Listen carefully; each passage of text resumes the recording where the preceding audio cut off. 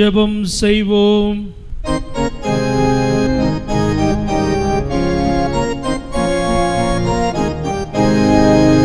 ஆண்டவா பிரசன்னமாகி ஜீவனூதி வைப்பியும் ஆசை காட்டும் தாசர் மீது ஆசீர்வாதம்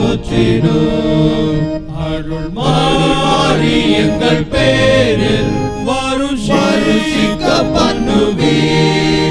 ஆசையோடு நிற்கிறோமே ஆசீர்வாதம் முற்றுவீர் தேவரீர் பாதத்தண்டை அவளோடு கூடினோம் உந்தன் தேவ்ய அபிஷேகம் நம்பி நாடி அண்டினோம் அருள் மாறி எங்கள் பேரில்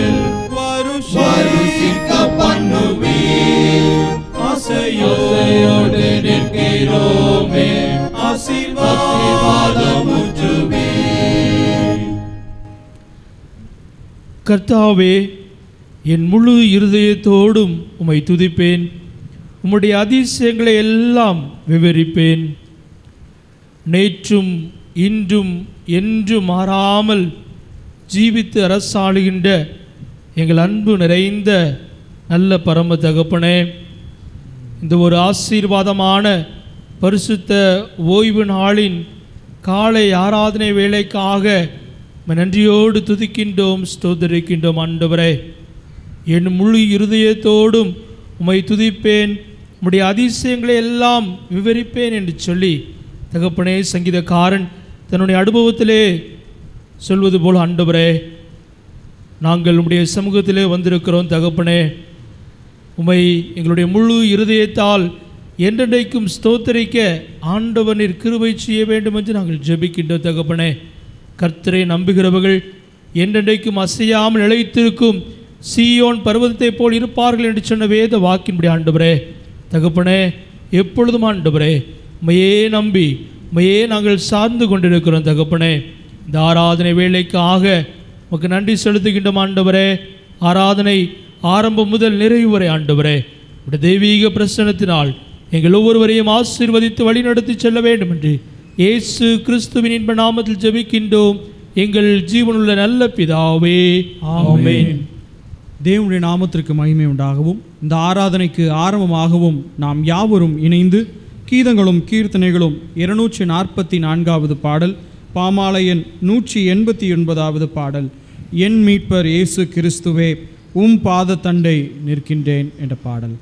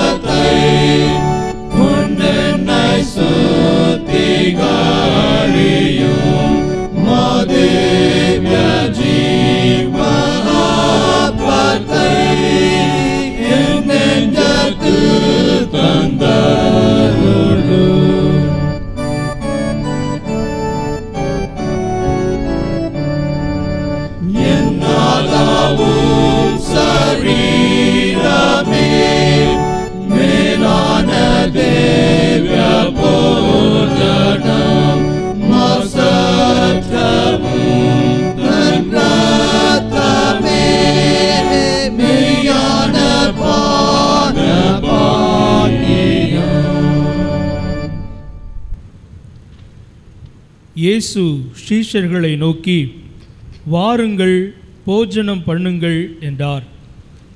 அவர்கள் ஒருமனப்பட்டவர்களாய் தேவ ஆலயத்திலே அனுதினமும் தரித்திருந்து வீடுகள் தோறும் அப்பம் பெற்று மகிழ்ச்சியோடும் கபடமில்லாத இருதயத்தோடும் போஜனம் பண்ணினார்கள். இதோ வாசற்படியிலே நின்று தட்டுகிறேன். ஒருவன் என் சத்தத்தை கேட்டு கதவை திறந்தால் அவனிடத்தில் நான் பிரவேசித்து அவனோடே போஜனம் பண்ணுவேன். அவனும் என்னோடே கூட போஜனம் பண்ணுவான்.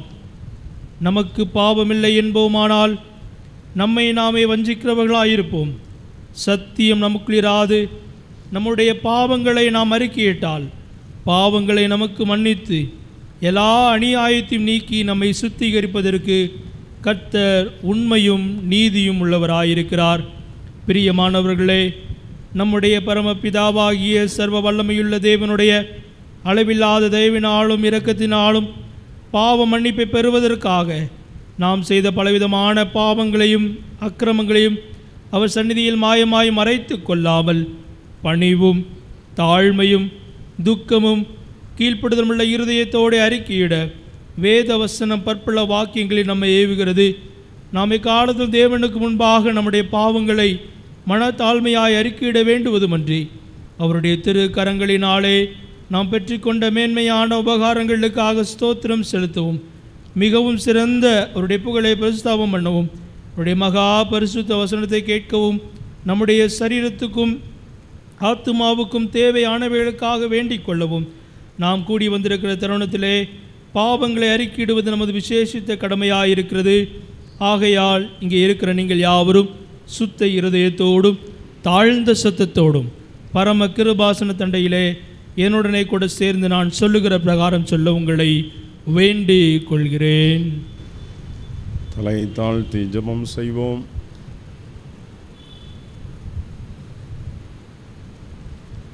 அவர்கள் அவரை நோக்கி பார்த்து பிரகாசமடைந்தார்கள். அவர்களுடைய முகங்கள் வெட்கப்படவில்லை என்று சொல்லி நாம் வேதத்திலே பார்க்கிறோம். இந்த காலை பொழுதிலே ஆண்டவர் நாம் பார்க்கின்ற இந்த அழகான உலகத்தை அவர் படைத்திருக்கிறார். இந்த படைப்பினுடைய சிறப்பு அம்சமாக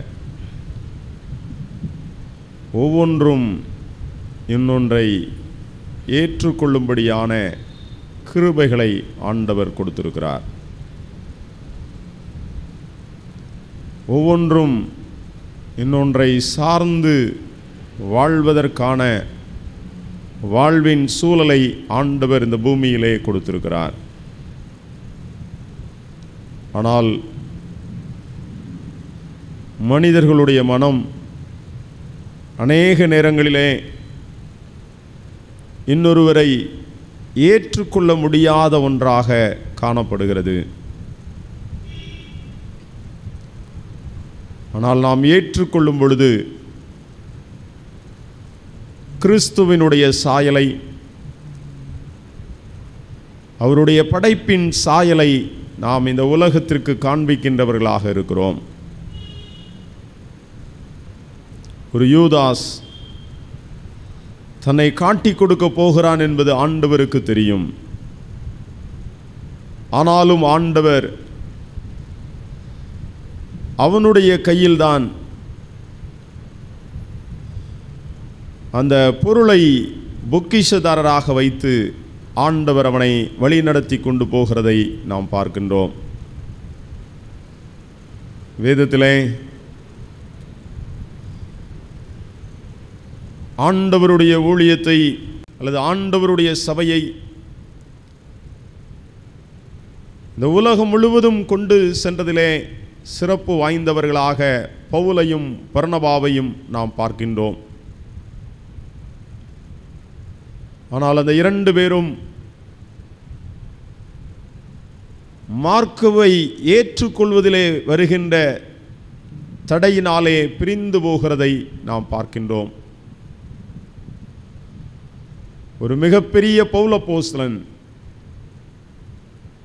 ஆண்டவருக்காக எல்லாவற்றையும் இழந்து தியாகம் செய்த ஒரு பரிசுத்தவான்.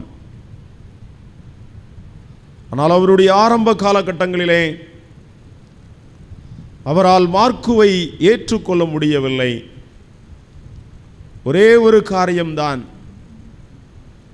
நம்முடைய வாழ்வின் பயணத்திலே அவன் நம்மை விட்டு பிரிந்து போய்விட்டான். எனவே அவனை ஏற்றுக்கொள்ள முடியாது என்று சொல்லி பௌலபோசலன் மறுக்கின்றார். ஆனால் அதே பௌலபோசலன் தன்னுடைய கடைசி நாட்களிலே சொல்லும் பொழுது சொல்லுகின்றார் மார்க்குவை உன்னோடு கூட கூட்டிக் கொண்டு வா. அவன் ஊழியத்தில் எனக்கு பிரயோஜனமானவன் என்று சொல்லி நாம் பார்க்கின்றோம். வேதத்திலே மார்க்கு எழுதின நற்செய்தி நூல் என்று சொல்லி கிறிஸ்துவினுடைய வரலாறையே அந்த வாழ்க்கையின் சம்பவத்தை நம்மோடு கூட பகிர்ந்து கொண்டு இன்றைக்கும் வாழ்ந்து கொண்டிருக்கின்றார். ஒருவேளை இந்த காலை பொழுதிலே இந்த ஓய்வு நாளின் ஆராதனையிலே யாராவது ஒருவரை நம்மால் ஏற்றுக்கொள்ள முடியாவிட்டால் ஆண்டவரே அவர்களை ஏற்றுக்கொள்ளுகின்ற அந்த மனப்பக்குவத்தை எனக்கு தாரும் என்று சொல்லி கேட்போம். ஆண்டவர் நமக்கு கிருபை தருகின்றார். அதை உணர்ந்தவர்களாக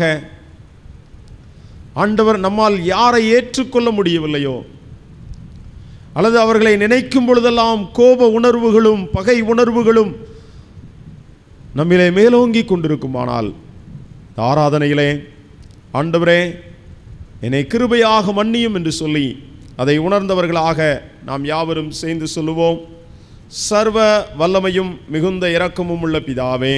தப்பிப்போன நாடுகளைப் போல நான் உடைய வழிகளில் வழிபடைந்தோம் எங்களது யோசனைகளுக்கும் நடந்தோம். குற்றம் செய்தோம் செய்தகளை செய்யாமல் செய்ததை செய்து வந்தோம் எங்களது சுமையில்லை ஆனால் மாணவர்களே தேவனிடத்தினாய் இயேசு கிறிஸ்துவாய் எதிர்பார்க்கின்ற தப்பிதல் அறிக்கையை பொறுமையாயிரும் மேலும் மயங்காமடி இனி தேவபக்தியும் நீதியும் தெரிந்து நடந்து வர இயேசு கிறிஸ்துவின் எங்களுக்கு நம்முடைய கத்தராகிய இயேசு கிறிஸ்துவின் பிதாவாய் இருக்கிற சர்வ வல்லமையுள்ள தேவன் பாவியின் மரணத்தை விரும்பாமல் அவன் தன் பாவத்தை விட்டு திரும்பி பிழைப்பதையே விரும்பி பாவத்தை நிமித்தம் துக்கப்படுகிற தமது ஜனத்துக்கு பாவ விமோசனத்தையும் மன்னிப்பையும் கூறி அறிவிக்க தம்முடைய பணிவிடைக்காரருக்கு அதிகாரத்தையும் கட்டளையும் அருளி செய்திருக்கிறார். மெய்யாய் மனம் திரும்பி தமது பரிசுத்த சுவிசேஷத்தை உண்மையாய் விசுவாசிக்கிற யாவருக்கும் அவர் பாவங்களை மன்னித்து விமோசனம் செய்கிறார். ஆகையால் கடைசியிலே அவருடைய நித்திய ஆனந்தத்தில் சேரத்தக்கதாக இத்தருணத்தில் நாம் செய்கிறது அவருக்கு பிரியமாயிருக்கவும். இனி உயிரோடு இருக்கும் நாளெல்லாம் மாசில்லாமல் பரிசுத்தமுள்ளவர்களாய் நடக்கவும். அவர் நமக்கு மெய்யான மனம் திரும்புதலையும் தம்முடைய பரிசுத்த ஆவியும் அருளி செய்ய வேண்டும் என்று நம்முடைய கத்தராகிய இயேசு கிறிஸ்துவின் மூலமாய் அவரை வேண்டி கொள்ள கடவோம். பரமண்டலங்களில் இருக்கிற எங்கள் பிதாவே உம்முடைய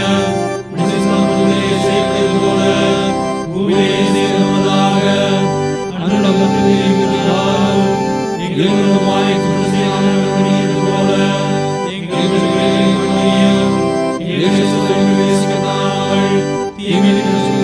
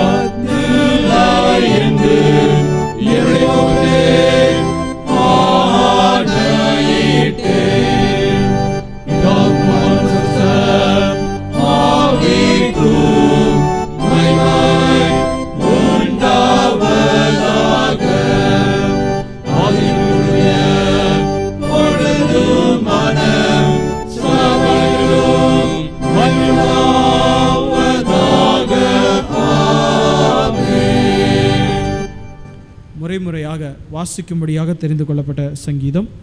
முப்பத்தி நான்காம் சங்கீதம் முதலாம் வசனம் முதல் பத்தாம் வசனம் வரை. சங்கீதம் முப்பத்தி நான்கு முதலாம் வசனம் முதல். கர்த்தரை நான் எக்காலத்திலும் ஸ்தோத்தரிப்பேன். அவர் துதி எப்போதும் என் வாயில் இருக்கும் ஆத்மா மேன்மை பாராட்டும். சிறுமைப்பட்டவர்கள் அதை கேட்டு மகிழுவார்கள். என்னோட கூட கர்த்தரை மகிமைப்படுத்துங்கள். நாம் ஒருமித்து அவர் நாமத்தை உயர்த்துவோமாக. நான் கர்த்தரை தேடினேன் அவர் எனக்கு செவி கொடுத்து என்னுடைய எல்லா பயத்திற்கும் என்னை நீங்களாக்கி விட்டார் அவர்கள் அவரை நோக்கி பார்த்து பிரகாசமடைந்தார்கள்.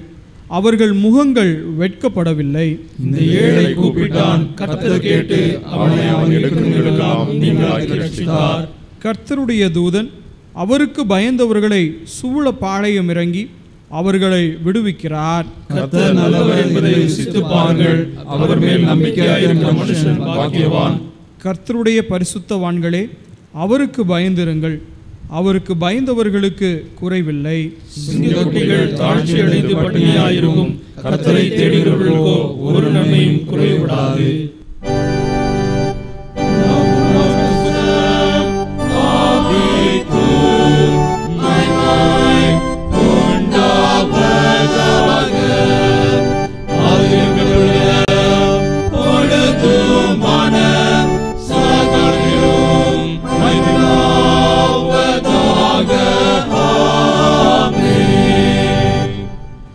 வாசிக்கும்படியாக தெரிந்து கொள்ளப்பட்ட வேத பகுதி. அப்போஸ்தலனாகிய யோவான் எழுதின நற்செய்தி நூல் ஆறாம் அதிகாரம் நாற்பத்தி எட்டாம் வசனம் முதல் ஐம்பத்தி எட்டாம் வசனம் வரை. பரிசுத்த யோவான் ஆறாம் அதிகாரம் நாற்பத்தி எட்டாம் வசனம் முதல். ஜீவ அப்பம் நானே உங்கள் பிதாக்கள் வனாந்தரத்திலே மன்னாவை புசித்திருந்தும் மறித்தார்கள் இதிலே புசிக்கிறவன் மறியாமல் இருக்கும்படி வானத்திலிருந்து இறங்கின அப்பம் இதுவே. நானே வானத்திலிருந்து இறங்கின ஜீவ அப்பம் இந்த அப்பத்தை புசிக்கிறவன் என்றென்றைக்கும் பிழைப்பான்.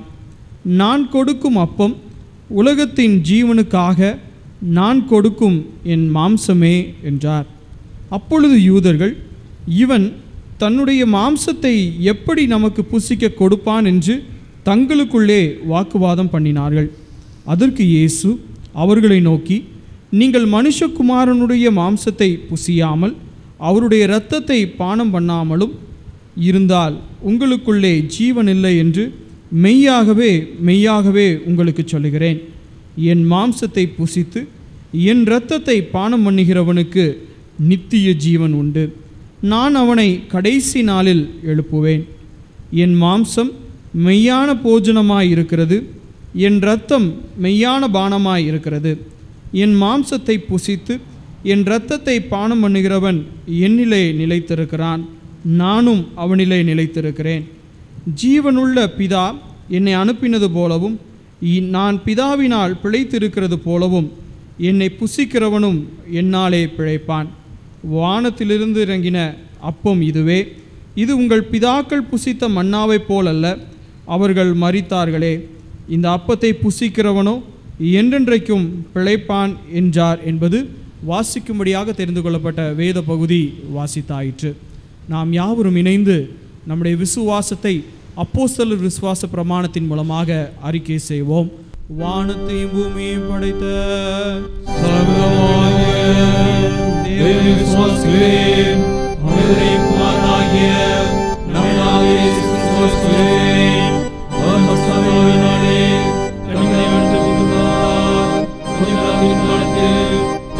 பாடுபட்டு சிலுவையில் அறைந்து, மரித்து, அடக்கமுடனே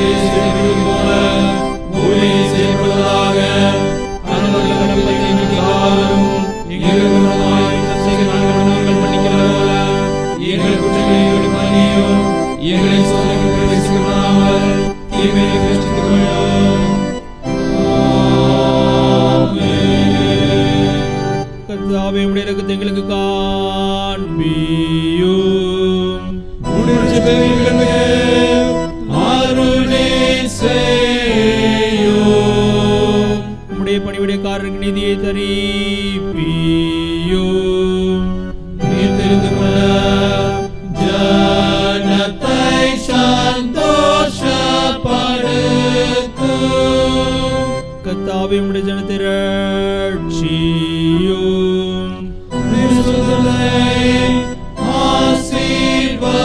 ஆசீர்வதியும் கர்த்தாவே எங்கள் காலத்தில் சமாதானத்தை கட்டளையிடும்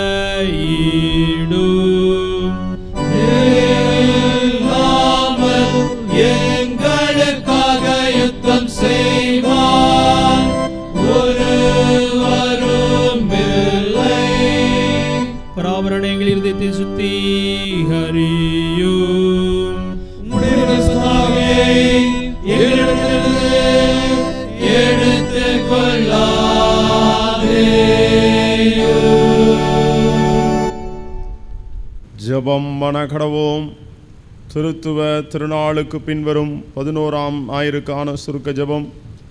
பராபரனே மன உருக்கத்தையும் இரக்கத்தையும் காட்டுகிறதினால் உமது சர்வ வல்லமையை முக்கியமாக விளங்க பண்ணுகிறீர். நாங்கள் உமது கற்பனைகளின் வழியாக ஓடி நீர் அருளின வாக்குத்தத்தங்களை பெற்றுக்கொள்ளவும் உமது பரம பொக்கிஷத்திற்கு பங்குள்ளவர்களாகும்படி எங்களுக்கு கிருபை செய்ய வேண்டும் என்று எங்கள் ஆண்டவர் இயேசு கிறிஸ்துவின் மூலமாய் அனுக்கிரகம் செய்தருளோம்.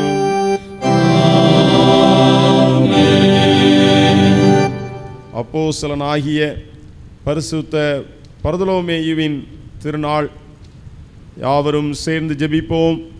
சர்வ வல்லமையுள்ள நித்திய தேவனே உமது வசனத்தை உண்மையாய் விசுவாசிக்கவும் பிரசங்கிக்கவும் உம்முடைய அப்போசலனாகிய பரதலோமேயுவுக்கு கிருபை அளித்தீரேன் அவர் விசுவாசித்த வசனத்தில் உம்முடைய திருச்சபையை பிரியப்பட்டு அதை பிரசங்கிக்கவும் ஏற்றுக்கொள்ளவும் செய்தருள வேண்டும் என்று எங்கள் கத்தராகிய இயேசு கிறிஸ்துவின் மூலமாய் வேண்டி குலக்கடவோம். பெருவாறு விஷ வியாதிகள் நடக்கின்ற காலத்திற்கு ஏற்படுகின்ற ஜெபத்தை நாம் சேர்ந்து இரடுப்போம் மிகவும் இரக்கமுள்ள பிதாவே நியாய பிரமாணத்திலே கூறியிருக்கிற தண்டனைகளை எல்லாம் நாங்கள் செய்த பலவிதமான பாவங்களுக்காகவும் எங்கள் இருதய கடினத்திற்காகவும் எங்கள் மேல் வருவது நியாயம் என்று ஒப்புக்கொள்கிறோம். ஆகிலும் நாங்கள் எங்களை தாழ்த்த வேண்டிய பிரகாரம் தாழ்த்தாதிருந்த போதிலும் தேவரீர் உருக்கமாய் இறங்கி அதை ஏற்றுக்கொண்டு இதுவரைக்கும் எங்களை மிகவும் துன்பப்படுத்தின பெருவாரி விஷ வியாதியை தனியே செய்து சௌக்கியத்தினால் உண்டாகும் கம்பீர சத்தம் எங்கள் வீடுகளில் திரும்பவும் துணிக்க செய்திறேன் தேவரீர் இவ்விதமாக எங்களை காப்பாற்றி பராமரித்து வருகிறது நிமித்தமும் எங்கள் கத்தராகிய இயேசு கிறிஸ்துவின் மூலமாய் நாங்கள் உம்முடைய தேவ மகத்துவத்துக்கு துதி ஸ்தோத்திர பலி செலுத்தி மேன்மை பொருந்திய உமது திருநாமத்தை புகழேந்தி மகிமைப்படுத்துகின்றோம். ஏசு கிறிஸ்துவின் மூலம் ஜெபம் கேளும் நல்ல பிதாவே.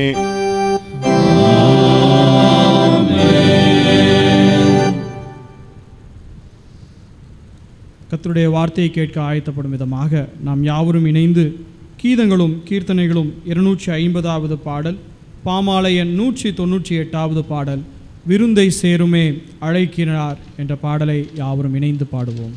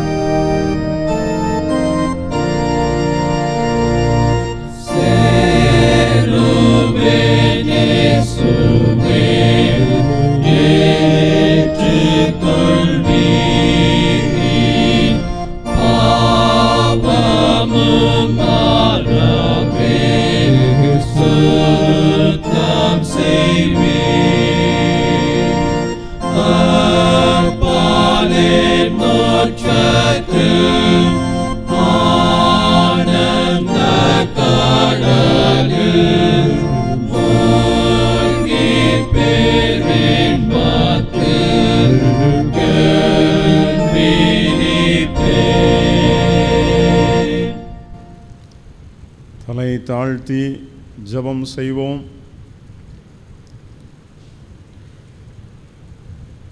கிருபையினாலும் சத்தியத்தினாலும் நிறைந்தவராய்.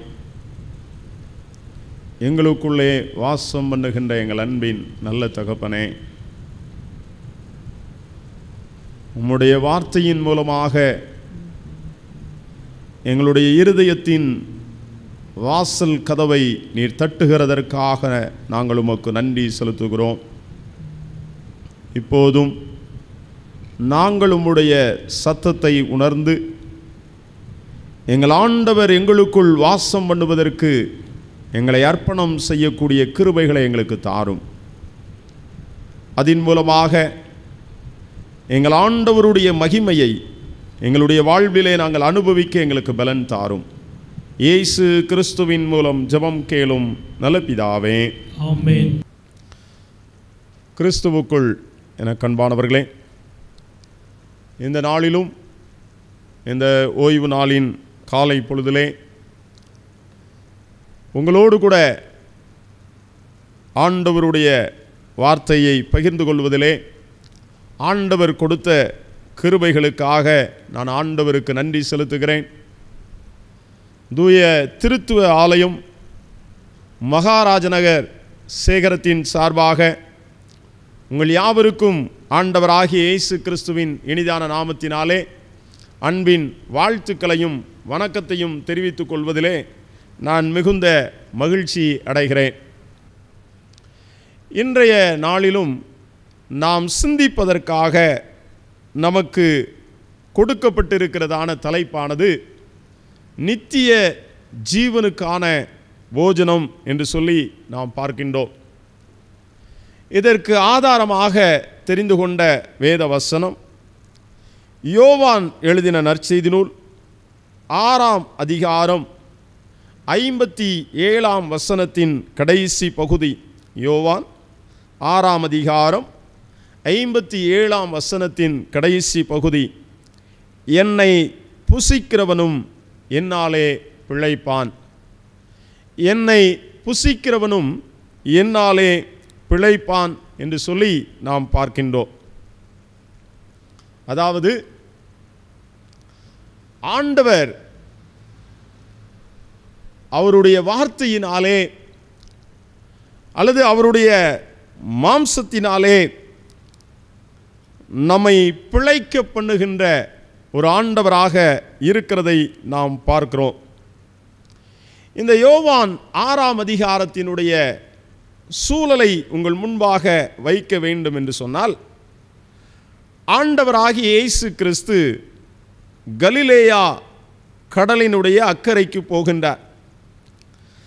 அப்போ அநேகர் ஆண்டவரிடத்திலே வருகின்றார்கள் ஆண்டவர் சுகமாக்கி கொண்டிருக்கின்றார். ஆண்டவர் ஒவ்வொருவரையும் சுகப்படுத்த சுகப்படுத்த.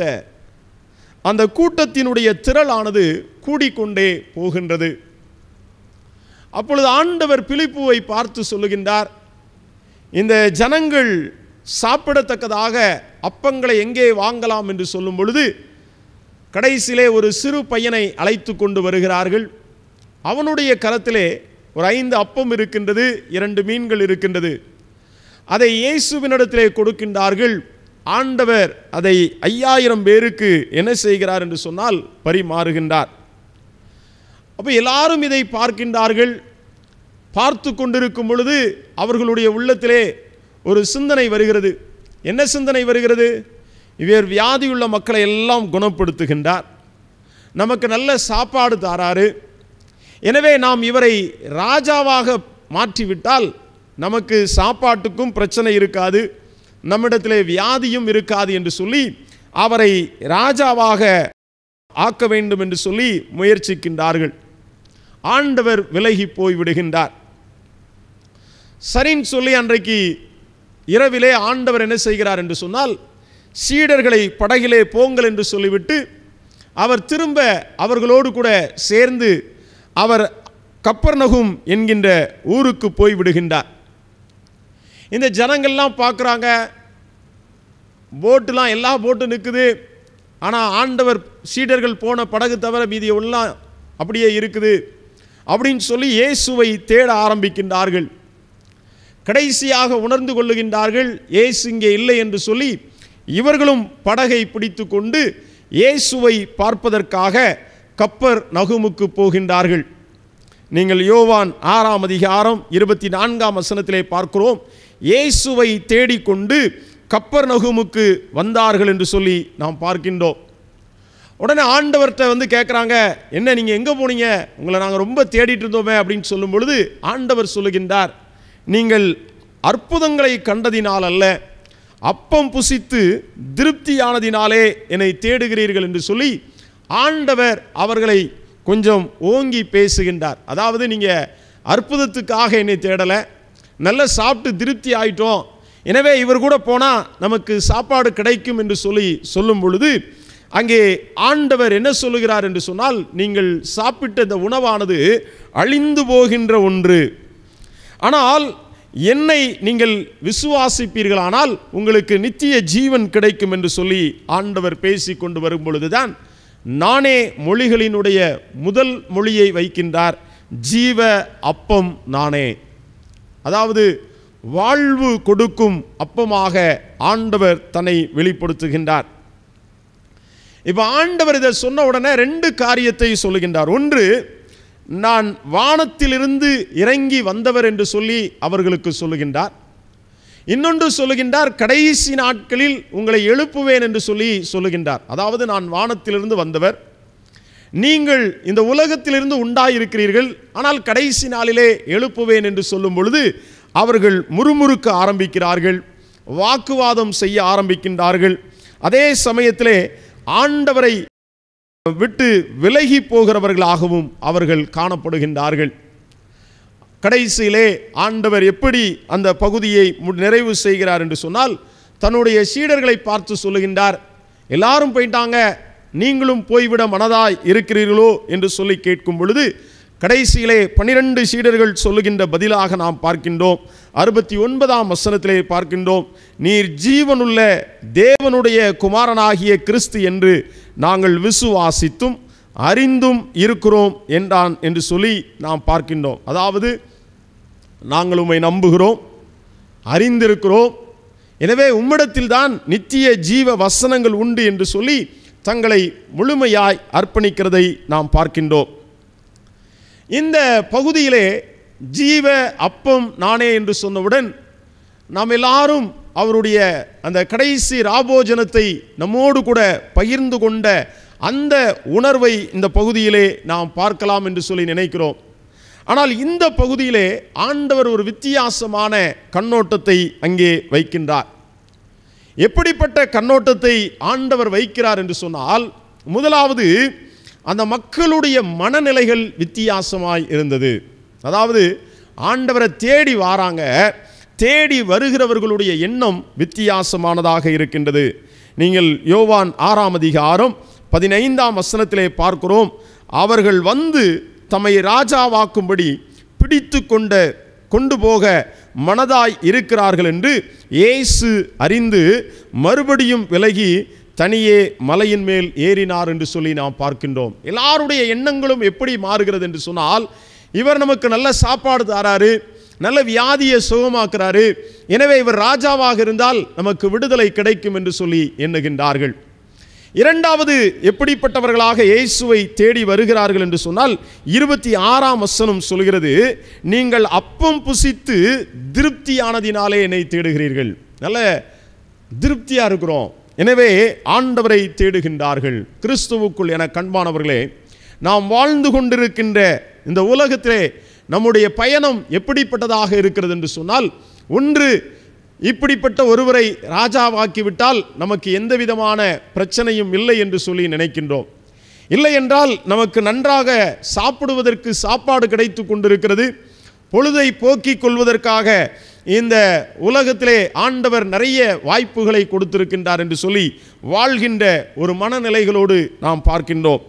அது மாத்திரமல்ல ஆண்டவர் சொல்லும் பொழுது இவர்களால் ஏற்றுக்கொள்ள முடியவில்லை. நாம் பார்க்கிற காரியம் என்ன என்று சொன்னால் நாற்பத்தி ஓராம் வசனம் சொல்கிறது யூதர்கள் அவரை குறித்து முறுமுறுத்தார்கள். ஆண்டவரை குறை சொல்லுகிறார்கள். என்ன குறை சொல்லுகிறார்கள்? இவன் யோசேப்பின் குமாரன் அல்லவா? இவன் எப்படி வானத்திலிருந்து வந்தான்? இவனா நமக்கு சாப்பாடு கொடுக்க முடியும்? என்று சொல்லி ஆண்டவரை குறை சொல்லுகின்ற ஒரு மக்களாக நாம் பார்க்கின்றோம். அது மாத்திரமல்ல ஐம்பத்தி ரெண்டாம் வசனம் சொல்கிறது யூதர்கள் என்ன செய்தார்கள் என்று சொன்னால் தங்களுக்குள்ளே வாக்குவாதம் பண்ண ஆரம்பித்தார்கள். முதலாவது முறுமுறுத்தார்கள். இவன் தன்னை பெ- நம்ம வந்து இவனை தேடி வந்தவுடனே இவன் ஒரு பெரிய ஆளாலா தன்னை காண்பித்து கொண்டிருக்கின்றார். இவர் எப்படி நமக்கு சாப்பிடுவதற்கு போஜனம் கொடுக்க முடியும்? அதுவும் தன்னுடைய மாம்சத்தை சாப்பிடுங்கள் என்று சொல்லுகின்றானே சொல்லுகின்றாரே அதை நம்மால் எப்படி பார்க்க முடியும் என்று சொல்லி என்ன செய்ய ஆரம்பிக்கிறார்கள் என்று சொன்னால் வாக்குவாதம் செய்கிறவர்களாக அவர்கள் காணப்படுகின்றார்கள். அது மாத்திரமல்ல அவர்கள் எப்படிப்பட்டவர்களாக இருக்கிறார்கள் என்று சொல்லி நாம் பார்ப்போம் என்று சொன்னால் அவர்கள் ஆண்டவரை விட்டு விலகி போகிறவர்களாக காணப்படுகின்றார்கள். யோவான் எழுதின நற்செய்தி நூல் ஆறாம் அதிகாரம் அங்கே அறுபத்தி ஆறாம் வசனத்திலே பார்க்கிறோம் அவருடனே கூட நடவாமல் பின்வாங்கி போனார்கள் என்று சொல்லி நாம் பார்க்கின்றோம். கிறிஸ்துவுக்குள் என கண்பானவர்களே ஆண்டவரை ராஜாவாக்க வேண்டும் என்று விரும்பினார்கள். அப்பம் கிடைத்ததினாலே ஆண்டவருக்கு பின் செல்ல வேண்டும் என்று விரும்பினார்கள். அது மாத்திரமல்ல ஆண்டவர் சொல்லு ஆண்டவர் கொடுக்கின்ற உணவு வேண்டும் ஆண்டவர் கொடுக்கின்ற சுகம் வேண்டும். ஆனால் ஆண்டவருடைய வார்த்தையை சொல்லும் பொழுது அவர்கள் முறுமுறுக்கின்றவர்களாக வாக்குவாதம் பண்ணுகிறவர்களாக ஆண்டவரை விட்டு விலகி போகின்றவர்களாக காணப்படுகின்றோம். இப்படிப்பட்ட சூழலில்தான் ஆண்டவர் சொல்லுகின்றார் என்னை புசிக்கிறவனும் என்னாலே பிழைப்பான். என்னை புசிக்கிறவனும் என்னாலே பிழைப்பான். ஆண்டவர் இங்கே எதை மையமாக வைக்கிறார் என்று சொன்னால் ஆண்டவருடைய வார்த்தைக்கு முக்கியத்துவம் கொடுக்கிறதை நாம் பார்க்கின்றோம். இந்த யோவான் ஆறாம் அதிகாரத்தை நாம் வாசித்து பார்க்கும் பொழுது அநேக நேரங்களிலே அவர் ஒரு வார்த்தையை பயன்படுத்துகிறார். என்ன வார்த்தையை பயன்படுத்துகிறார் என்று சொன்னால் வானத்தில் இருந்து இறங்கி வந்த வானத்திலிருந்து இறங்கி வந்தேன். நீங்கள் நாற்பத்தி ரெண்டாம் வசனமானாலும் சரி அங்கே ஆண்டவர் திரும்ப திரும்ப பயன்படுத்துகின்ற ஒரு வார்த்தை என்ன வார்த்தை என்று சொன்னால் நான் வானத்திலிருந்து இறங்கி வந்தேன். அடுத்தது சொல்லுகின்றார் கடைசி நாளிலே நான் அவனை எழுப்புவேன். நாற்பத்தி நான்காம் வசனத்திலே சொல்லுகின்றார் கடைசி நாளிலே நான் அவனை எழுப்புவேன். அதாவது மனிதன் இந்த உலகத்திலே பிறக்கின்றான். ஆனால் பிறக்கின்ற ஒவ்வொரு மனிதனுடைய வாழ்க்கைக்குள்ளும் வானத்திலிருந்து இறங்கி வந்த ஆண்டவராகிய இயேசு கிறிஸ்து அவனுக்குள் வாழ விரும்புகின்றார். அது மாத்திரமல்ல கடைசி நாட்களிலே அவர் நம்மை உயிரோடு கூட எழுப்புவதோடு மாத்திரமல்ல அந்த ஆண்டவரோடு நாம் ஆளுகை செய்கின்ற ஒரு நல்ல சூழலை உருவாக்கி கொடுக்கின்றவராகவும் இருக்கின்றார் என்று சொல்லி இந்த பகுதியிலே பார்க்கிறோம். முதலாவது நான் வைக்கிற காரியம் என்ன என்று சொன்னால் வாருங்கள் விசுவாசியுங்கள் என்று சொல்லி அழைக்கின்றார். கம் அண்ட் பிலீவ் அப்படின்னு சொல்லி அழைக்கின்றார். வாருங்கள் விசுவாசியுங்கள் என்று சொல்லி ஆண்டவர் அவர்களை அழைக்கின்றார். எப்படிப்பட்ட சூழலாக இருந்தாலும் சரி. ஆண்டவர் இரண்டு பதத்தை பயன்படுத்துகின்றார். வாருங்கள் விசுவாசியுங்கள் என்று சொல்லி சொல்லுகின்றார். முப்பத்தி ஐந்தாம் வசனத்திலே சொல்லுகின்றார் என்னிடத்தில் வருகிறவன் ஒரு காலும் பசியடையான். என்னிடத்தில் விசுவாசமாய் இருக்கிறவன் ஒரு காலும் தாகமடைய மாட்டான் ஒரு மனிதனுடைய வாழ்க்கையிலே உணவும் தண்ணீரும் அத்தியாவசியம் நிறைந்த ஒன்று. அதாவது இந்த இரண்டும் இல்லாமல் மனிதனால் என்ன செய்ய முடியாது? இந்த உலகத்திலே உயிர் வாழ முடியாது. இந்த ஜீவ அப்பம் நானே என்று சொல்லுகின்ற ஆண்டவர் தன்னை தேடி வருகின்ற மக்கள் வித்தியாசமான மனநிலைகளிலே காணப்பட்டாலும் அவர் பயன்படுத்துகின்ற பதம் வாருங்கள் என்ன செய்யுங்கள்? விசுவாசமாயிருங்கள். வாருங்கள் என்று சொல்லும் பொழுது அவன் ஒரு காலும் பசியடைய மாட்டான். விசுவாசியுங்கள் என்று சொல்லும் பொழுது அவன் ஒரு காலும் தாகமடையான் என்று சொல்லி ஆண்டவர் சொல்கின்றார். ஆனால் இந்த உலகத்திலே நம்ம எல்லாரும் தேடிக்கொண்டிருக்கின்றோம் ஆண்டவரை. அடுத்த வசனம் சொல்கிறது முப்பத்தி ஆறு நீங்கள் என்னை கண்டிருந்தும் விசுவாசியாமல் இருக்கிறீர்கள் என்று உங்களுக்கு சொன்னேன். நிறைய நேரங்களிலே நம்முடைய வாழ்க்கையிலே ஆண்டவரை நம்புவதற்கு தடைகள் காணப்பட்டு கொண்டிருக்கிறது. ஆனால் ஆண்டவர் சொல்கின்றார் இந்த உலகத்திலே பிறக்கின்ற ஒவ்வொரு மனிதனுடைய வாழ்க்கையிலும் ஆண்டவராகிய இயேசு கிறிஸ்து அங்கே அவனோடு கூட வாழ விரும்புகின்றார். வாழ விரும்புவதோடு மாத்திரமல்ல கடைசி உயிர்த்தெழுதலின் நாளிலே அங்கே ஆண்டவரோடு பிதாவோடு கூட ஆளுகை செய்கிற நாட்களாக கொடுக்கிறதை நாம் இந்த பகுதியிலே பார்க்கிறோம். கம் அண்ட் பிலீவ் அதற்கு நான் ஒரே ஒரு காரியத்தை தான் இதிலிருந்து சொல்ல ஆசைப்படுகின்றேன். ஒரே ஒரு காரியம் என்ன சொல்லுகிறார் என்று சொன்னால் நாற்பத்தி ஐந்தாம் வசனத்திலே பார்க்கிறோம் எல்லாரும் தேவனாலே போதிக்கப்பட்டிருப்பார்கள். பிதாவினிடத்தில் கேட்டு கற்றுக்கொள்ளுகிறவன் எவனும் என்னிடத்தில் வருகிறான். அதாவது யோவான் ஆறாம் அதிகாரம் நாற்பத்தி ஐந்தாம் வசனத்திலே சொல்லுகிறார் எல்லாரும் தேவனாலே போதிக்கப்பட்டிருப்பார்கள். பிதாவினிடத்தில் கேட்டு கற்றுக்கொள்ளுகிறவன் எவனும் என்னிடத்தில் வருகிறான். அதாவது ஒரு அழகான வார்த்தை அதாவது தன்னுடைய போஜனம் என்று சொல்லும் பொழுது இன்னும் எளிதாக நாம் புரிந்து கொள்ள வேண்டும் என்று சொன்னால் ஆண்டவரால் போதிக்கப்படுகின்ற அனுபவம் ஒவ்வொரு மனிதனுடைய வாழ்க்கையிலும் இருக்க வேண்டும். இதை ஏசாயா தீர்க்கதரிசியின் புஸ்தகம் ஐம்பத்தி நான்காம் அதிகாரம் அங்கே பதி மூன்றாம் வசனத்திலே நாம் பார்க்கின்றோம். ஏசாயா தீர்க்கதரிசியினுடைய புஸ்தகம் ஐம்பத்தி நான்காம் அதிகாரம் பதிமூன்றாம் வசனத்திலே பார்க்கும் பொழுது உன் பிள்ளைகள் எல்லாரும் கர்த்தரால் போதிக்கப்பட்டிருப்பார்கள். அதைத்தான் ஆண்டவர் இங்கே சொல்லுகிறார். எல்லாரும் தேவனாலே போதிக்கப்பட்டிருப்பார்கள். கிறிஸ்துவுக்குள் என கண்பானவர்களே ஆண்டவருடைய மாம்சத்தை புசிப்பது அனுபவத்தை அவர் சொல்லும் பொழுது சொல்கின்றார். ஆண்டவரால் போதிக்கப்படுகின்ற ஒரு அனுபவம். அதை எரேமியா இன்னும் அழகாக சொல்லுகின்றார். எரேமியா முப்பத்தி ஓராம் அதிகாரம் முப்பத்தி மூன்றாம் முப்பத்தி நான்காம் வசனத்திலே சொல்லுகின்றார். நான் அவர்களோடு கூட ஒரு புதிய உடன்படிக்கை பண்ண போகிறேன். அந்த புதிய உடன்படிக்கை என்ன என்று சொன்னால் என்னுடைய வார்த்தையை அவர்கள் இருதயமாகிய பலகையிலே எழுதுவேன் என்று சொல்லி ஆண்டவர் சொல்லுகிறதை நாம் பார்க்கின்றோம். முதலாவது ஆண்டவரால் போதிக்கப்படுகின்ற ஒரு அனுபவம். இரண்டாவது ஆண்டவருடைய வார்த்தைகள் நம்முடைய இருதயத்திலே எழுதப்படுகின்ற ஒரு அனுபவம். இதை யோவான் ரொம்ப அழகாக முதலாம் அதிகாரம் பதினான்காம் வசனத்திலே சொல்லுகின்றார். கிருபை அந்த வார்த்தை மாம்சமாகி கிருபையினாலும் சத்தியத்தினாலும் நிறைந்தவராய் நமக்குள்ளே என்ன செய்கிறார்? வாசம் பண்ணுகிறார். அவருடைய மகிமையை கண்டோம். அதாவது கம் அண்ட் பிலீவ் என்று சொல்லும் பொழுது ஆண்டவர் தன்னுடைய மாம்சமாக எதை பேசுகிறார் என்று சொன்னால் ஆண்டவருடைய வார்த்தையை பேசுகின்றார். இந்த ஆண்டவருடைய வார்த்தையை பேசும் பொழுது அவர் திரும்ப திரும்ப சொல்லுகின்ற ஒரு காரியமாக நாம் பார்க்கிறோம்.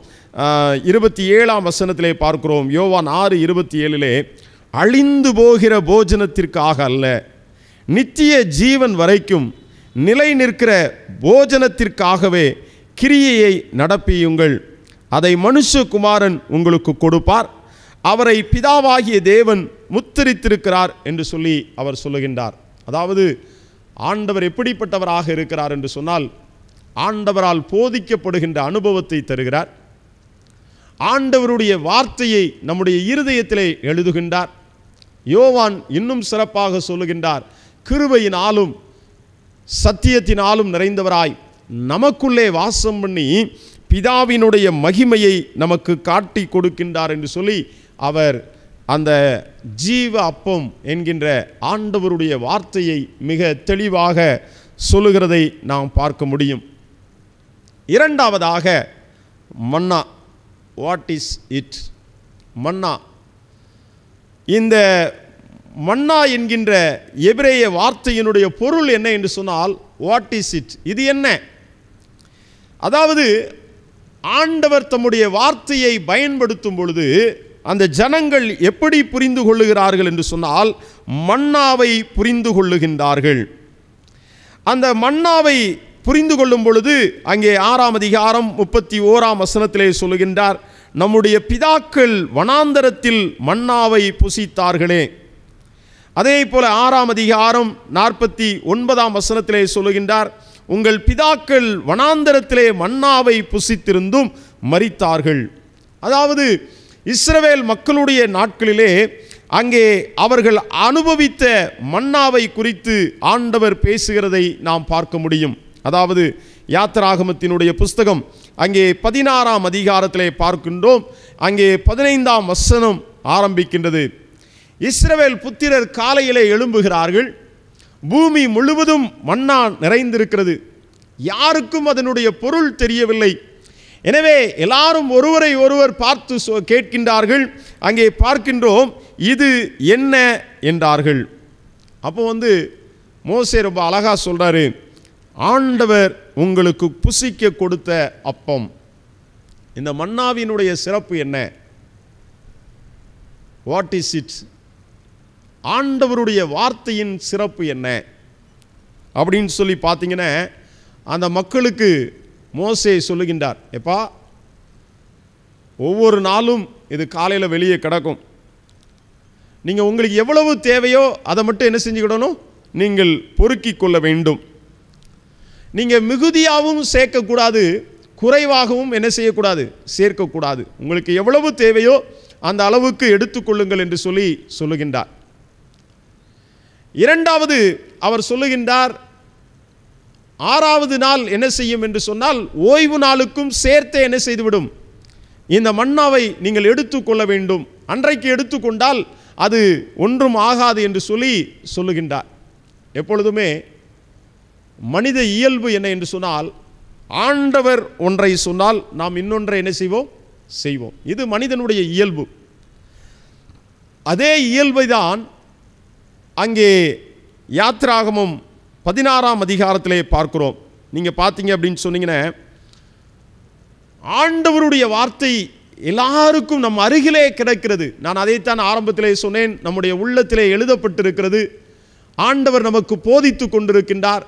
கிருபையினாலும் சத்தியத்தினாலும் நிறைந்தவராய் நமக்குள்ளே வாசம் பண்ணுகின்ற ஆண்டவர் அதை நம்முடைய வாழ்க்கையிலே எடுத்துக்கொள்ள வேண்டும் என்று சொல்லி ஆண்டவர் விரும்புகின்றார். ஆனால் நீங்கள் பார்த்தீங்க அப்படின்னு சொன்னீங்கன்னா இருபதாம் வசனம் சொல்கிறது மோசேயின் சொல் கேளாமல் சிலர் அதில் விடியற்காலம் மட்டும் கொஞ்சம் மீதியாய் வைத்தார்கள் அது பூச்சி பிடித்து நாற்றம் எடுத்தது.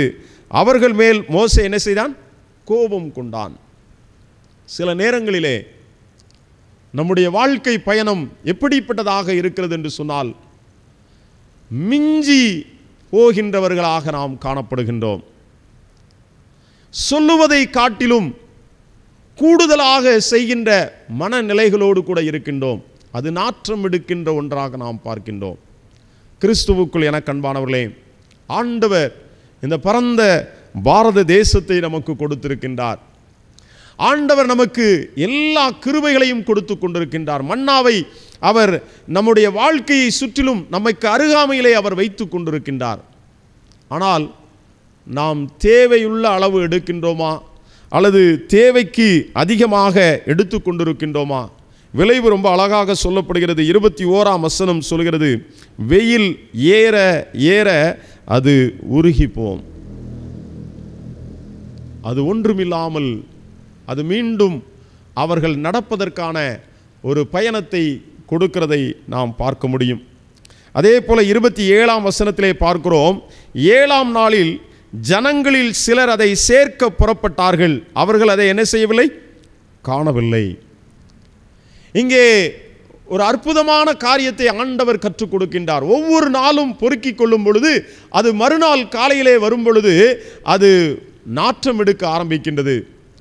ஆனால் ஆறாவது நாளிலே ஏழாம் நாளுக்காக சேர்த்து கொள்ளும் பொழுது அது தூய்மை நிறைந்ததாக அவர்கள் பயன்படுத்தக்கூடிய ஒன்றாக இருக்கின்றது. ஆனால் சிலர் என்ன செய்கிறார்கள் என்று சொன்னால் மறுநாள் காலையிலே பொறுக்க போகிறார்கள். அதை அவர்கள் கை கொள்ளாமல் போகிறார்கள். இருபத்தி எட்டாம் வசனத்திலே யாத்ராகமும் பதினாறு இருபத்தி எட்டிலே ஆண்டவர் மோசையை நோக்கி சொல்லுகின்றார். கர்த்தர் மோசையை நோக்கி என் கட்டளைகளையும் என் பிரமாணங்களையும் கை கொள்ள எந்த மட்டும் மனதில்லாதிருப்பீர்கள் என்று சொல்லி ஆண்டவர் வேதனைப்படுகின்றார். கிறிஸ்துவுக்குள் என கண்பானவர்களே மன்னாவினுடைய சிறப்பு என்ன அப்படின்னு சொன்னால் மன்னா எனக்கு அருகாமையிலேயே ஆண்டவர் என்னுடைய வாழ்க்கை பயணத்தில் எனக்கு வைத்திருக்கிறார். ஒவ்வொரு நாளும் ஆண்டவர் எனக்கு கொடுக்கிறதை நான் எடுத்துக்கொண்டு என் ஆண்டவரோடு இணைந்து வாழ பழக வேண்டும். அது மாத்திரமல்ல இணைந்து வாழ்வதோடு மாத்திரமல்ல அந்த பயணம் எப்படிப்பட்டதாக இருக்க வேண்டும் என்று சொன்னால் ஆண்டவர் சொல்வது சொல்றபடி செய்ய வேண்டும். ஆண்டவர் தான் சொல்லுகின்றார் எந்த மட்டும் என்னுடைய கற்பனைகளையும் என்னுடைய பிரமாணங்களையும் கை கொள்ளாமல் போவீர்கள். கிறிஸ்துவுக்குள் என கண்பானவர்களே முதலாவது கம் அண்ட் பிலீவ் வாருங்கள் நீங்கள் விசுவாசியுங்கள் என்று சொல்லி அழைக்கின்றார். இரண்டாவது அவர் மன்னாவை பற்றி சொல்லுகின்றார். வாட் இஸ் இட் இது என்ன? இது என்னை சுற்றிலும் இருக்கின்றது. அதாவது மன்னா இந்த உலகத்திலே யாருக்கு கொடுக்கப்பட்டது என்று சொன்னால் ஆண்டவரை முறுமுறுத்த ஜனங்கள். ஆண்டவர் மீது நம்பிக்கையை குறைவாக வைத்திருந்த ஜனங்களாகிய இஸ்ரவேல் மக்களுடைய வாழ்க்கையில்தான் ஆண்டவர் கிருபை பொருந்தின தம்முடைய மன்னாவை கொடுத்தார். இன்றைக்கும் ஏசு கிறிஸ்து கிருபை பொருந்தினவராக அவர் நம்மோடு கூட உலாவிக் கொண்டிருக்கின்றார் கிறிஸ்துவுக்குள் என கண்பானவர்களே போஜனத்தினுடைய முதல் அடையாளம் வாருங்கள் ஆண்டவரை நம்புங்கள். இரண்டாவது மன்னா நான் ஆண்டவருடைய வார்த்தைக்கு கீழ்ப்படிய வேண்டும் என்கின்ற உணர்வை பெற்றுக்கொள்ள வேண்டும். கடைசியாக அவர் சொல்லுகின்றார் என்ன சொல்லுகிறார் என்று சொன்னால் யோவான் ஆறாம் அதிக ஆறாம் அங்கே அறுபத்தி மூன்றாம் வசனத்திலே சொல்லுகின்றார் வசனங்கள் ஆவியாயும் ஜீவனாயும் இருக்கின்றது. வசனங்கள் ஆவியாயும் ஜீவனாயும் இருக்கிறது. மூன்றாவது ஆண்டவர் சொல்லுகின்றார். இந்த எட்டர்னல் லைஃப் நித்திய ஜீவனை பற்றி சொல்லுகின்றார். அறுபத்தி ஓராம் வசனத்திலே அவர் சொல்லுகின்றார். இயேசு தமக்குள்ளே அறிந்து கொள்ளுகின்றார். எதை அறிந்து கொள்கிறார்? அவர்கள் முறுமுறுக்கிறார்கள். அவர்கள் இடரல் அடைந்து கொண்டிருக்கின்றார்கள். அங்கே ஆண்டவர் அவர்களுக்கு சொல்லுகின்றார் மனுஷகுமாரனும் தாம் முன்னிருந்த இடத்திற்கு ஏறி போகிறதை நீங்கள் காண்பீர்களானால் எப்படி இருக்கும்? அதாவது நித்திய ஜீவன் ஆண்டவரோடு கூட வாழ்கின்ற வாழ்க்கைக்கு எது பலனாக இருக்கிறது என்று சொன்னால் வசனங்கள் ஆவியாயும் ஜீவனாயும் இருக்கின்றது. ஆண்டவருடைய வார்த்தை தான் நாம் ஒவ்வொரு நாளும் எடுத்துக்கொள்ளுகின்ற மன்னா. அதனால்தான் சங்கீதக்காரர் சொல்லும் பொழுது சொல்லுவார் கர்த்தருடைய வேதத்தில் இரவும் பகலும் தியானமாய் இருக்கிற மனுஷன் பாக்கியவான். அவன் நீர்க்கால்களின் ஓரமாக நடப்பட்டு தன் காலத்திலே தன் கனியை கொடுத்து இலையுதிராதிருக்கிற செழிப்பான மரத்தை போல் இருப்பான். அவன் செய்வது எல்லாம் வாய்க்கும் என்று சொல்லி சொல்லுகின்றார். ஆண்டவருடைய வார்த்தைக்கு வல்லமை இருக்கிறது. எப்படி இந்த உலகத்திலே நாம் சாப்பிடுகின்ற சாப்பாடும் தண்ணீரும் நாம் இந்த உலகத்திலே வாழ்வதற்கான பலனை கொடுத்து கொண்டிருக்கின்றதோ அதே போல ஆண்டவர் தருகின்ற வார்த்தைகள் விசுவாச வார்த்தைகள் நம்பிக்கையின் வார்த்தைகள் அல்லது வாக்குத்தத்தங்கள் என்னுடைய வாழ்க்கையில் எப்படி இருக்கிறது என்று சொன்னால் ஆவியாயும் ஜீவனாயும் இருக்கிறது. அதைத்தான் அங்கே ஆண்டவர் சீஷர்களோடு பேசுகிறார். நீங்களும் போய்விட மனதாக இருக்கிறீர்களோ என்று சொல்லும் பொழுது அறுபத்தி எட்டிலே சொல்லுகின்றார் யாரிடத்தில் போவோம்? நித்திய ஜீவ வசனங்கள் உம்மிடத்தில் உண்டே. கிறிஸ்துவுக்குள் என கண்பானவர்களே இங்கே ஜனங்கள் தேடினார்கள். யோவான் ஆ- ஆறு இருபத்தி நான்கிலே இயேசுவை தேடிக்கொண்டே வந்தார்கள். அவருடைய எண்ணம் அவரை ராஜாவாக்க வேண்டும். அவரோடு இருந்தால் உணவு கிடைக்கும் என்று நினைத்தார்கள். ஆண்டவர் சொல்லுகின்றார் நான் கொடுக்கின்ற வார்த்தை உங்களுடைய வாழ்க்கையிலே ஜீவனாக இருக்கிறது. அது மாத்திரமல்ல அது ஆவியாக இருக்கிறது என்று சொல்லி சொல்லுகின்றார். இதை அவர் எங்கே நிறைவு செய்கிறார் என்று சொன்னால் யோவான் எழுதின நற்செய்தி நூல் பதினேழாம் அதிகாரம். அங்கே இந்த வசனத்தினுடைய நிறைவை அவர் சொல்லுகின்றார். ஜீவனாயும் ஆவியாயும் இருக்கின்ற வார்த்தையை சொல்கிறார். யோவான் பதினேழாம் அதிகாரம் அங்கே பதினோராம் வசனத்திலே சொல்கின்றார் பரிசுத்த பிதாவே நீர் எனக்கு தந்தவர்கள் நம்மை போல் ஒன்றாயிருக்கும்படிக்கு நீர் அவர்களை உம்முடைய நாமத்தினாலே காத்துக்கொள்ளும். அதாவது ஆண்டவருடைய வார்த்தை நமக்குள்ளே இருக்கின்றது. ஆண்டவருடைய வார்த்தையை நாம் எடுத்துக்கொள்ளும் பொழுது அந்த மன்னா நம்முடைய வாழ்க்கைக்கு பலனாக இருக்கின்றது. ஆண்டவருடைய வார்த்தையிலே நாம் பயணம் செய்யும் பொழுது நாம் எல்லாரையும் ஒன்றாக கூட்டி சேர்க்கின்றது இணைக்கின்றது. அதை கடைசியிலே அவர் என்ன சொல்லுகிறார் என்று சொன்னால் பதினான்காம் வசனத்திலே சொல்லுகின்றார் யோவான் பதினேழு பதினான்கிலே நான் உம்முடைய வார்த்தையை அவர்களுக்கு கொடுத்தேன். நான் வந்து மனிதனாக வந்ததோடு மாத்திரமல்ல என்னுடைய மாம்சத்தை வார்த்தையாக அவர்களுக்கு கொடுத்திருக்கிறேன். அடுத்தது சொல்லுகின்றார் பதினேழாம் வசனத்திலே சொல்லுகின்றார் உம்முடைய சத்தியத்தினாலே அவர்களை பரிசுத்தமாக்கும். உம்முடைய வசனமே சத்தியம். உம்முடைய வார்த்தை அவனை பரிசுத்தப்படுத்தும் அவனை தூய்மைப்படுத்தும் ஆண்டவரை சந்திப்பதற்கான பலன் கொடுக்கும் ஆண்டவரை சந்திக்கும் பொழுது ஒரு புதிய பலனையும் புதிய ஆற்றலையும் பெற்றுக்கொள்ளுகின்றான். கடைசியாக பத்தொன்பதாம் வசனத்திலே அவர் சொல்லுகின்றார் அவர்களும் சத்தியத்தினாலே பரிசுத்தமாக்கப்பட்டவர்களாகும்படி அவர்களுக்காக நான் என்னைத்தானே பரிசுத்தமாக்குகிறேன். ஆண்டவர் நிறைவு செய்யும் பொழுது அந்த யோவான் பதினேழிலே சொல்லுகின்றார் என்னைத்தானே பரிசுத்தமாக்குகிறேன். எதினாலே என்னுடைய வார்த்தையினாலே அவர்களை பரிசுத்தமாக்குகிறேன் என்று சொல்லி ஆண்டவர் அந்த பரிசுத்தத்தினுடைய சாயலை அவர்களுக்கு முன்பாக ஆண்டவர் வைக்கிறதை நாம் பார்க்கின்றோம். கிறிஸ்துவுக்குள் என கண்பானவர்களே நித்திய ஜீவனுக்கான போஜனம் என்பது ஆண்டவர் நம்ம எல்லாரையும் ஆண்டவரால் போதிக்கப்படுகின்ற அனுபவங்களை இந்த உலகத்திலே கொடுக்கிறார். அதாவது ஆண்டவர் நம்மை இந்த உலகத்திலே படைத்திருக்கிறார். இந்த வாழ்க்கை பயணத்திலே அவர் நம்மோடு கூட இருக்க விரும்புகின்றார். அது மாத்திரமல்ல உயிர்த்தெழுதலின் நாளிலே நாம் ஆண்டவரோடு கூட ஆளுகை செய்ய வேண்டும் என்று விரும்புகின்றார். அதற்காக ஆண்டவர் தம்முடைய வார்த்தையை நமக்குள்ளே வைத்திருக்கிறார் போதிக்கின்றார். கிருபையினாலும் சத்தியத்தினாலும் நிறைந்தவராய் நமக்குள்ளே வாசம் பண்ணுகின்றார். நம்முடைய இருதயமாகிய பலகையிலே ஆண்டவருடைய வார்த்தையை எழுதுகின்றார். இரண்டாவதாக மன்னா இது யாருக்கு கொடுக்கப்படுகிறது என்று சொன்னால் ஆண்டவரை முறுமுறுத்தவர்கள். அல்லது ஆண்டவரோடு இசைந்து செல்லாத மக்களுக்கு கிருபையாக ஆண்டவர் மன்னாவை கொடுத்தார். அந்த மன்னா அவர்களை சுற்றிலும் இருந்தது. அவர்கள் தங்களுடைய தேவைக்கு ஏற்ப எடுத்துக்கொள்ளும் பொழுது அவருடைய வாழ்க்கைக்கு அது பலனாக இருக்கிறது. அதே சமயத்திலே அவர்களுடைய வாழ்க்கையிலே அந்த மன்னாவை அதிகமாக சேர்க்கும் பொழுது நாற்றம் எடுத்த ஒன்றாகவும் அதே சமயத்திலே சேர்க்காமல் இருக்கின்ற பொழுது அவளுடைய வாழ்க்கை வெறுமையாக்கப்பட்டதாகவும் இருக்கிறது. அதைத்தான் அவர் சொல்கின்றார். பிதாக்கள் அதை புசித்தும் மறித்து போனார்கள். காரணம் ஆண்டவருடைய கற்பனைகளின்படி நடக்காமல் போய்விட்டார்கள். கடைசியாக ஆண்டவருடைய வசனம் நம்முடைய வாழ்க்கையிலே ஜீவனாக இருக்கிறது ஆவியாக இருக்கிறது.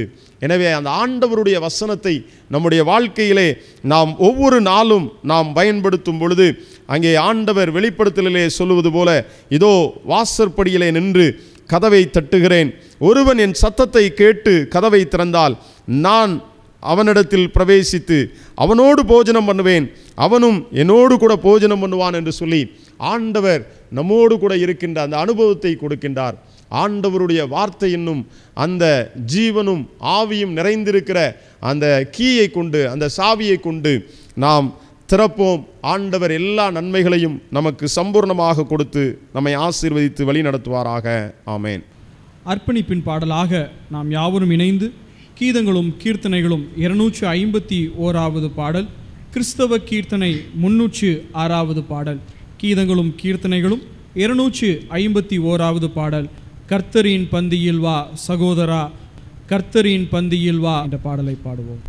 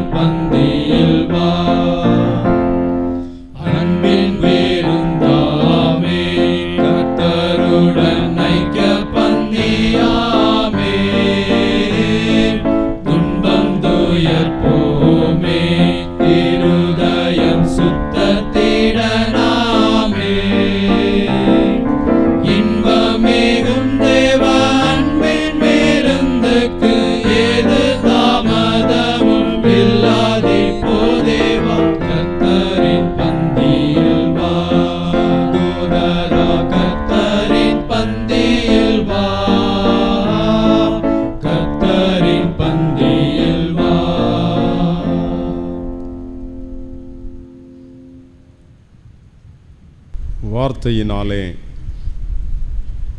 இந்த உலகத்தை படைத்த எங்கள் அன்பின் நல்ல தகப்பனே உம்முடைய வார்த்தைகள் ஜீவனாயும் ஆவியாகவும் இருக்கிறதற்காக நாங்கள் உமக்கு நன்றி செலுத்துகிறோம். உம்முடைய வாயிலிருந்து புறப்படுகின்ற அந்த வார்த்தை என்ன நோக்கத்திற்காக சொல்லப்படுகின்றதோ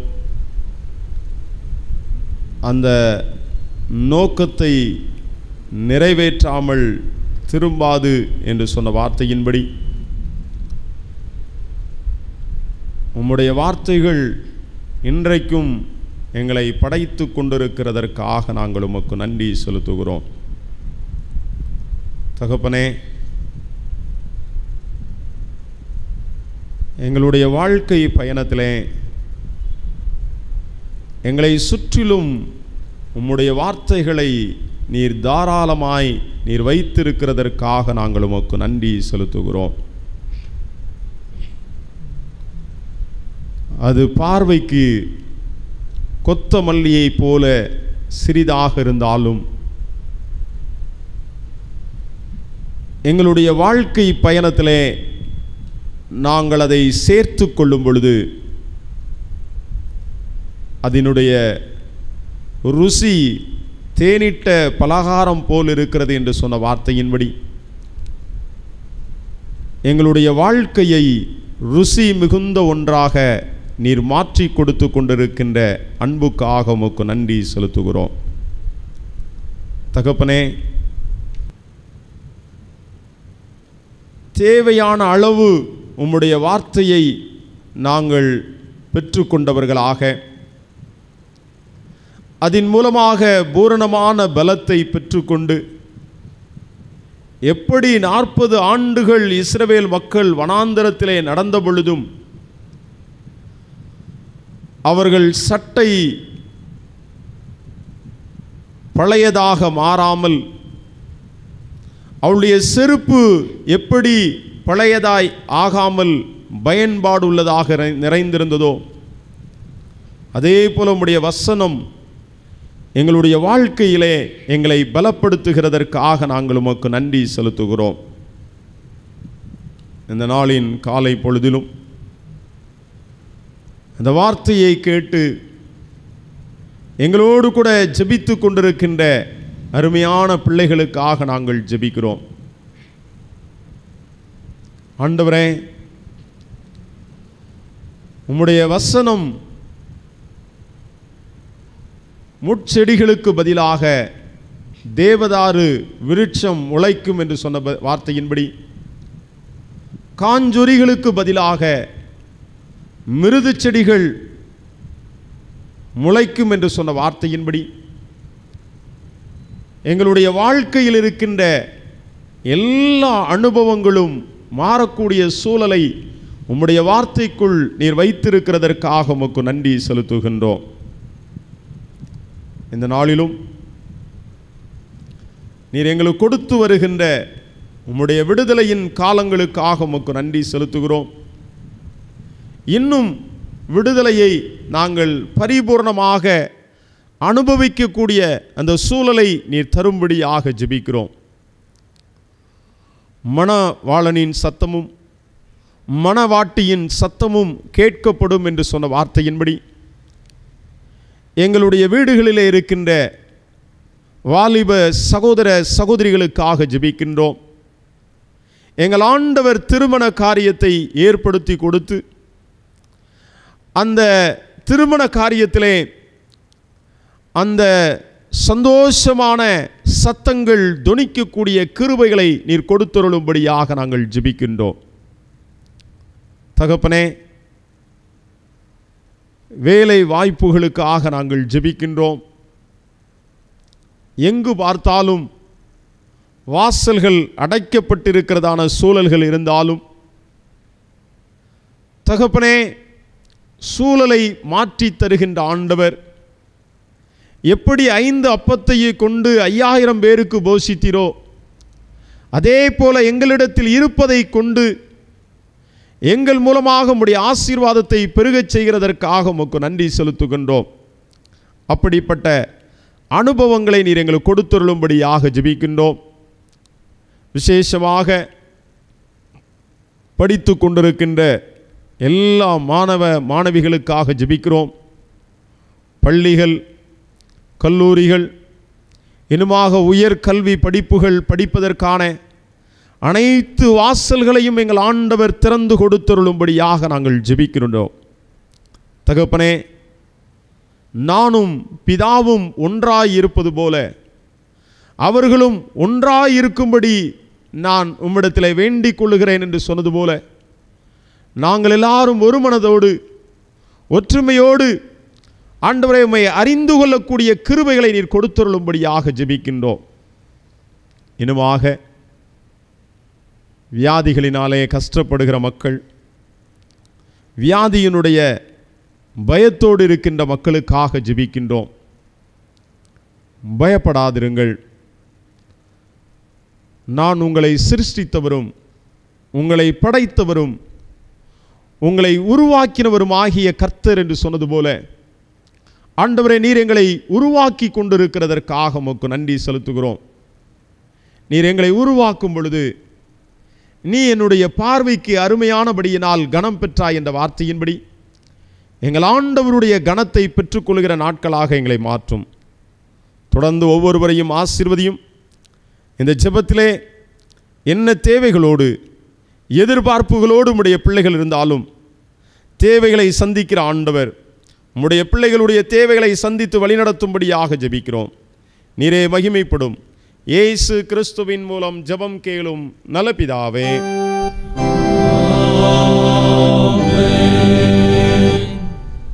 தேவனுடைய இரக்கமுள்ள கிருபைக்கும் பராமரிப்புக்கும் உங்களை ஒப்புக் கொடுக்கிறோம் கர்த்தர் உங்களை ஆசீர்வதித்து காத்து வழிநடத்த கடவர்.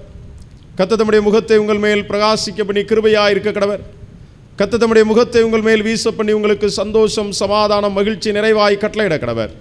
பிதா குமாரன் பரிசுத்த ஆவியும் ஆகிய சர்வ வல்லமை பொருந்திய தேவரீருடைய ஆசீர்வாதம். இப்பொழுதும் எப்பொழுதும் நம் அனைவரோடும் நாம் ஏறெடுத்திருக்கிறதான ஜெபங்களோடும் கூட இருந்து ஆசீர்வதித்து வழி நடத்துவாராக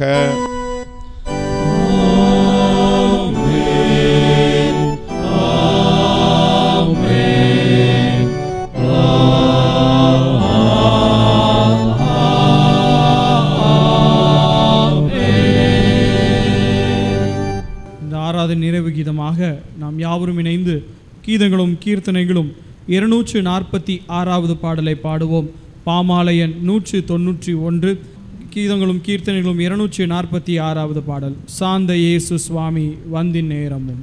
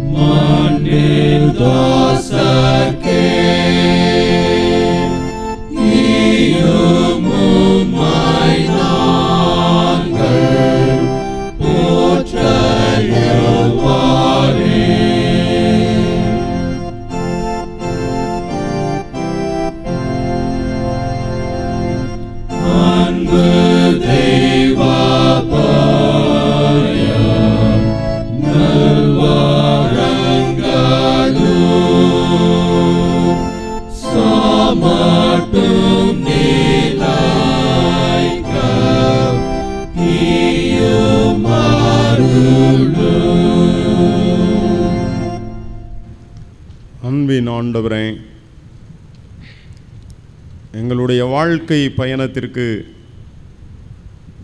உணவும் தண்ணீரும் எவ்வளவு அத்தியாசமாக இருக்கிறதோ அதே போல உம்முடைய ஆவியாயும் ஜீவனாயும் இருக்கிற வார்த்தைகள் எங்களுடைய வாழ்க்கைக்கு மிகவும் தேவையுள்ள ஒன்றாக நீர் மாற்றி கொடுக்கிற நம்முடைய அன்புக்காக உமக்கு ஸ்தோத்திரம் செலுத்துகின்றோம். நீ போக வேண்டிய தூரம் வெகு தூரம் என்று சொல்லி அந்த வெகு தூரத்தை கடப்பதற்கு உம்முடைய பலன் தருகிறதற்காக உமக்கு நன்றி செலுத்துகின்றோம். எப்படி? ஒரு எஸ்ரா உம்முடைய வேதத்தை ஆராயவும் அதின்படி செய்யவும் தன்னுடைய இருதயத்தை பக்குவப்படுத்தி கொண்டாரோ? அதே போல நாங்களும் உம்முடைய வேதத்தை ஆராயவும் அதன்படி செய்யவும் எங்களுடைய இருதயத்தை நீர் பக்குவப்படுத்தி அருளும்படியாக ஜெபிக்கிறோம். தகப்பனே நீ விசுவாசித்தால் தேவனுடைய மகிமையை காண்பாய் என்று சொன்ன வார்த்தையின்படி எங்களுடைய வாழ்க்கையின் சூழல் எப்படிப்பட்ட ஒன்றாக இருந்தாலும் இதில் என் ஆண்டவர் மகிமையாக இருக்கிறார் என்பதை உணர்ந்து அந்த மகிமையின் வாசலை காணவும். அந்த ஜீவ அப்பமாகிய கிறிஸ்து எங்களிலே வெளிப்படவும் உதவி செய்யும். இயேசு கிறிஸ்துவின் மூலம் ஜெபம் கேளும் நல்ல பிதாவே. கர்த்தர் உங்களோடு இருப்பாராக. தேவ சமாதானத்தோടെ போக கடவோம்.